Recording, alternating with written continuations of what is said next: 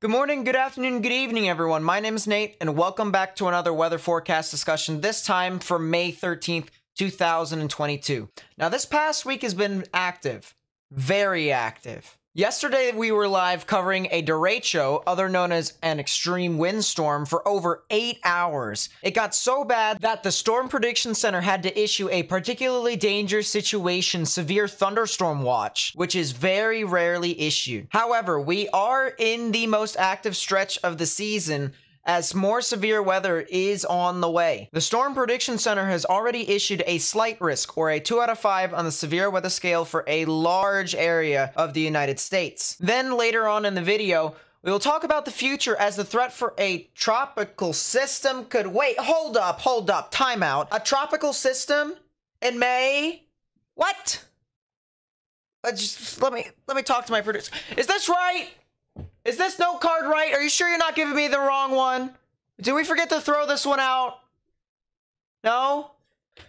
The threat for a tropical system is possible for portions of the Gulf of Mexico and the Caribbean. So we'll hopefully have more information on that on the way. But before we get started, thank you guys so much for the constant support to the channel over the past week. I really do appreciate it. If you haven't already, please be sure to hit that thumbs up button down below so that we can continue to spread this information out to as many people as possible. Also, subscribe if you are new and turn on notifications to stay up to date with all the latest information that could include significant weather like a tropical system. Oh boy. Now, we're doing something a little different, all right? Once we start to get into the heat of hurricane season, we're going to start using this a lot more frequently. Uh, but for right now, let's introduce it to you all. Let's take a look at the current water vapor satellite imagery just to kind of understand what our environment, our atmosphere is currently doing right now. So we can see a couple things. First off, we have a low pressure system over the prairies right now, kind of stirring up a lot of trouble, especially for the central portions of the United States, as well as another low pressure system off the coast of the Carolinas right now, creating a lot of showers and thunderstorms down here. Let me zoom it in a little bit better for you guys so you can kind of see the general flow. There it is. Look at that. A lot more of a counterclockwise flow within that system. We also have a high pressure system over here sitting off of the coast of Bermuda, or actually just right on Bermuda practically. This is the, our Bermuda high that's kind of steering a lot of our stuff. And you can see its clockwise flow here as well, with a lot of strong wind shear over portions of the Caribbean as well. So uh, we got that, and then as well as a uh, potential something to watch here for the future. A strong atmospheric river is now starting to plunge its way forward into portions of the Pacific Northwest. Maybe a lot of precipitation could be coming up there as well. Definitely something to watch out for as this continues to move off towards the east. So now let's go ahead and transition. Now that we know where everything is at, let's take a look at the simulated radar, see what all that means more or less. The timing is above me in Eastern, so if you're in another time zone, I highly recommend you translate towards that time zone. And yeah, let's kind of get it going here. This is Friday evening as when we are starting off with. You can see a lot of showers and thunderstorms explode off along a line extending from Wisconsin down in towards the southern Midwest and into the Ozarks. We also have some other showers and thunderstorms over here in portions of central and northern Texas, and then a lot of scattered activity over here towards the eastern half of the United States. A lot more precipitation over here in the prairies of Canada, and then a lot of moisture starting to congeal over into portions of the Pacific Northwest. And that's going to continue to be the case as that continues to kind of just steamroll on through into the overnight hours here now. Now, as this continues to progress over into the afternoon hours of Saturday, all right, a lot of scattered showers and thunderstorms form across the board here. Now, luckily, as of right now, it seems that most of the activity is a one out of five in the severe weather scale or a marginal risk. So that's kind of the good news as this continues to progress. But then as this pushes on through in towards Sunday morning and then Sunday afternoon, you see once again a lot of moisture continues to move on through in towards portions of the Pacific Northwest. But then this really starts to become really active over here towards the central United States and then progressing forward towards the eastern half of the United States. And you see this big line that surges here through into portions of eastern Kansas, western Missouri, down in towards central and eastern Oklahoma and western Arkansas. So if you're in those areas, I'd watch out for some severe weather. And if you're east of that, all right, on the eastern half of the United States, you guys could potentially see the risk for scattered showers and thunderstorms here for quite an absorbent period, probably from Saturday all the way into Sunday and possibly even further into Monday as well. And I would include portions of Ontario and Quebec as well in the mix as well. You can see that there's a lot of scattered showers and thunderstorms within this general area. But let's zoom in here just a bit. You can see a lot of these showers and thunderstorms that occur overnight from Saturday into Sunday continue to take shape over into portions of Iowa and Nebraska. They elongate further into Kansas and Missouri, and that becomes a pretty strong damaging wind threat there as that continues to move further south. Now, there also is the threat for some severe weather across portions of Illinois, Indiana, and Ohio, as well as portions of Michigan as well. So I would watch out for that. There is some residual scattered showers and thunderstorms over into portions of Wisconsin and Minnesota, but I don't really think those are going to be all too significant, or at least compared to the stuff out in front of it. And then you can see as this continues to play out how these storms continue to increase in activity as well. So something to keep in note as this continues to progress to the overnight hours. A lot of warm moisture is going to still be present over this environment here. You can see our high dew points across the board, especially as we elongate in towards Sunday. You can see how some of these areas out in front of that main line heading in towards the central plains gets dew points in you know in and upwards to about I'd say 70 to even the mid 70s. I mean, that is really moist, especially for this type of environment. Very strong damaging winds can be possible. And then you can see over here towards portions of the southern Great Lakes into the Ohio River Valley, you guys could potentially be seeing some good enough dew points for some severe weather as well, into as low as the mid 50s to as high as the upper 60s and maybe even 70s in some spots. So definitely something to keep in mind as that continues to progress over there. We also have a lot of convective available potential energy within this area. Typically, you want about the greens to the yellows, uh, and even higher than that. If you get higher than that, that's the extreme amount of energy in the atmosphere for these thunderstorms to either form and sustain. So basically, think of this as thunderstorm food, all right? If the thunderstorms continue to feed off of this energy, they'll allow themselves to continue to form or sustain, maybe even intensify as well. And we have a lot of that, specifically on Sunday here, where we have about 6,000 joules per kilogram of CAPE. That is immense amounts of CAPE. And uh, that's just a lot, to be completely honest with you. So uh, those thunderstorms more than likely will tap into that environment, that energy to allow it to continue to sustain, produce probably some large hail with it as well. And maybe a conditional tornado threat there as well. Maybe if, you know, you can get a quick spin up along the line, you could get some activity because this is uh, the helicity, this is the veering in the atmosphere that tells you as to whether or not the wind shear is favorable for storms to produce tornadoes. And there is a decent amount of helicity over here towards portions of Oklahoma and Missouri, as well as into Arkansas. There also is some limited amounts of helicity over here towards portions of Indiana and Illinois as well. So watch out for that. Maybe some of those showers and thunderstorms, if they can sustain, keyword if they can sustain, could potentially, you know, spawn a couple tornadoes within this general environment as well. So that'll be something to watch out for, especially as that continues to move off in towards the overnight hours from Sunday into Monday. So now we're going to take a look at our general flow of the atmosphere here. And from this point onwards, this is basically going to be the 500 millibar wind shear and us trying to determine as to what we could potentially be seeing in the future. So this is, once again, the flow of the atmosphere. This is our 500 millibar wind shear, which is about six kilometers above ground level. This is our upper level wind shear, and this shows us our jet streams and stuff like that. So we have our trough that is now starting to dig on through because of the new showers and thunderstorms that are forming across portions of the central United States and the Ohio Valley. And if we just backtrack here, you can see how that formulates because we have our low pressure system that we talked about over into the prairies of Canada, as well as our atmospheric river that's now starting to push on through as well.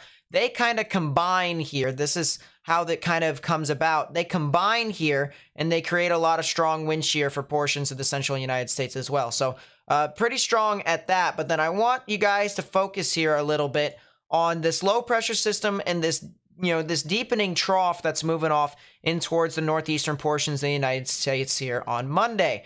We also have a pretty strong high pressure system over Baja California, and we have another little mini trough right within here that is starting to develop pretty weak low pressure system over portions of the Florida Peninsula. So something interesting to note with that. We also can see on the bottom right hand corner a little bit of a high pressure system that is developing over portions of Puerto Rico as well. So that's going to be something to note. But then as this continues to progress, is there any new low pressure systems that begin to form? Well, according to the Euro, yes, sometime by the end of next week, there could potentially be some severe weather as a new low pressure system with some very strong wind shear is going to start to materialize here sometime along Wednesday, Thursday, or Friday. So that would be the 18th, 19th, and 20th. There could potentially be some severe weather for either the northern plains or the central plains here as this continues to move on through. And let's play this out just to see what happens. Oh yeah, there's your deepening low pressure system. There's your deepening jet right within there. And so some areas, maybe even in the southern plains in the deep south could potentially see some activity on that Sunday moving off into Monday as well. So expecting an active stretch of severe weather barring something else that could potentially happening. And with that, I take you to the GFS's perspective. All right, this is the same exact thing, 500 millibar wind shear. We see very similar pattern here, the low pressure system that trough moves on through the northeastern portions of the United States. A new low pressure system then digs on through, potentially creates some severe weather over into portions of the northern plains, central plains, and southern plains. But what is that? What is that? That is a tropical system, my friends. And, uh, you know, usually when you have a tropical system there, that kind of limits a lot of the severe weather potential. So, depending upon if this low pressure system right here, this tropical system forms, can determine as to whether or not you have your severe weather event over here in the central portions of the United States. So let's see if it's going to happen, shall we? And to that, I want to take you to this. We are now in full tropical analysis mode. We're going to take a look at tropical tidbits to try and see as to what exactly is happening. What is the GFS saying? Why it's saying what it is, and uh, let's just get straight to it. Let's take a look at the precipitable water, which just basically tells us the moisture content within a specific spot. This is you know, pretty helpful for us to identify as to where tropical waves are and how things can materialize, how much moisture content is within a specific area. And then we also have these wind barbs, which basically tell us as to where the wind shear is at the 850 millibar level. So if you see these kind of sticks with the flags on the side, draw an arrow on the opposite side, and the arrow points as to where the wind is going. So for instance, we have a high pressure system over here near Bermuda. These wind barbs are flowing in a clockwise fashion. So therefore, we have a high pressure system over here. Same thing with this low pressure system, and then uh, same thing with this other low pressure system over here in the portions of the northern Atlantic. Now, here is our tropical wave to watch. Right within here, you can see the big plume of moisture, specifically right down here. And this is all going to kind of merge with what all is happening over here in the Southern Caribbean near the you know the Central America general area. So let's play this out here. You can see our tropical wave now goes into northern portions of South America. There's a lot more moisture now over towards portions of Honduras as well as Guatemala, that general area near Panama. And now the GFS says that there is a you know a consolidation more or less with all that moisture in that area and then it continues to seep up that moisture and move off further and further towards the north where a hurricane, according to the GFS, is expected to make landfall somewhere north of Tampa, Florida, which is kind of pretty insane, just to say the least. So is the Euro on the same wavelength? Well, kind of. Let's play this out here. You can see that same tropical wave move on through, but instead of it forming a tropical system in the eastern portions of the Central America, you know, general area, it starts to form a tropical system on the western portions into the Pacific. So it does seem that somewhere down here there could be the potential for enough moisture for a tropical system to form. It's just whether or not this wind shear here at the 850 millibar level is going to push it across portions of Central America into the Eastern Pacific. Now looking at the cyclonic vorticity as well as the 850 millibar wind shear, we have a very strong narrow corridor here because of this high pressure system a very strong corridor of wind shear here across portions from the Windward Islands all the way through into the central portions of the Caribbean, creating some about 20 to 25 knot shear, which isn't really all too favorable for tropical systems to form. However, as we play this along through here, we see a lot of these skinny sticks over here towards portions of the Gulf of Mexico as well as near areas along Cuba. All right, if it can get into an environment to where this wind shear is moving a bit towards the north instead of more towards the west, this is going to be a little bit more favorable for a tropical system to develop and move off into the Gulf of Mexico. However, what will come into play is the placement of this high pressure system right here. If this high pressure system is even a tad bit further south or a tad bit further south and west, or even west for that matter, this tropical system is going to go over the Central America general vicinity and head off into the Pacific. All right. The general moisture is going to head off into that general area. However, if this high pressure system alleviates and moves off a little bit further towards the east or towards the north, we can anticipate that moisture to be kind of pulled up by the high pressure system. Remember, the high pressure system continues to create this clockwise flow. And if it continues to kind of seed off a little bit more, that turning of the winds will be a little bit more in favor of this moisture starting to head off and towards that area. Now, this right here, guys, is the tropical cyclone heat potential. All right, this is basically where it's similar to Cape, but it's in the water. So if the tropical systems get over this, then the higher the amount of energy there is in the water for the heat, which basically extends further down below the surface, uh, then the more energy there is for tropical cyclones to either form or sustain. And so the areas that we need to watch out for specifically is areas that are practically not in blue. All right. Once we get towards like the sea green, the yellow, the reds, that's when we start to get into a territory where there is starting to get some energy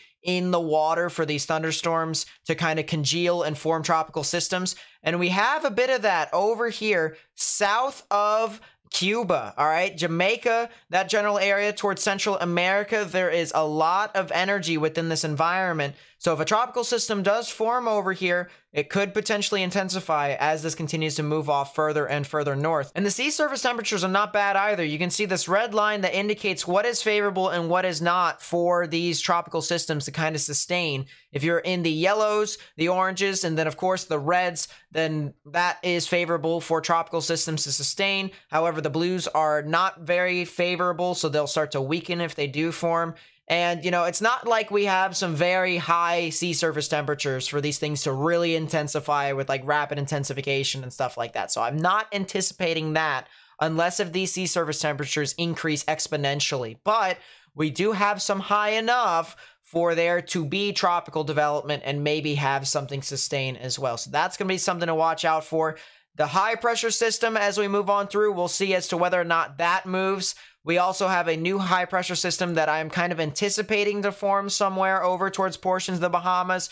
Whether or not that could develop can determine as to where that tropical wave can move off to, as well as the tropical wave. What does that do and how will that interact with Central America Will that become a tropical system as that moves off into the Gulf of Mexico or as that moves off into portions of the Eastern Pacific? We'll continue to keep you guys up to date as this continues to progress further and further. But until then, that's all I got here for today. Thank you guys so much for watching. If you did enjoy the video, please be sure to leave a like, subscribe if you're new, turn on notifications, share this with friends and family and on social media. Also follow me on social media. Link will be in the description down below. I have a Discord server as well. Join it. If you want to become a member, hit that join button down below. And uh, I really do appreciate all the support that you guys have given me over the past week. I mean, we've grown so much. We're almost to 33,000 subscribers. And so let's hope we get to it. Let's hope we get higher than that so that we can continue to expand our community. Once again, thank you guys so much for watching. My name is Nate. Stay safe out there, and I will see you guys in the next one. So peace out.